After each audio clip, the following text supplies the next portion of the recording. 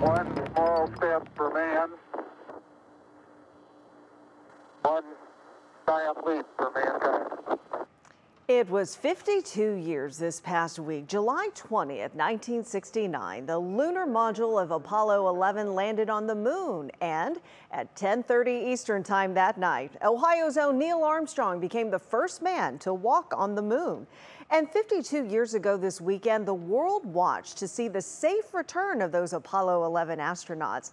And for the first time since that day, the Navy Frogmen, the underwater military specialists who secured the capsule, well, they have reunited to relive their part of the story.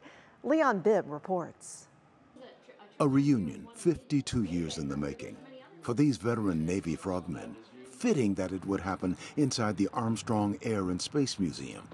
These are the men who recovered the Apollo 11 astronauts after splashdown, then in their 20s, with the whole world watching. We had rehearsed so oh, much. How many times?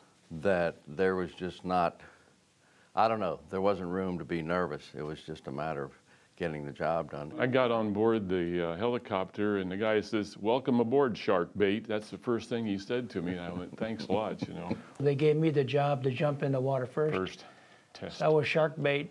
And if I didn't die, they could come in afterwards. the group encountered rough sea conditions, the toughest in their early naval careers.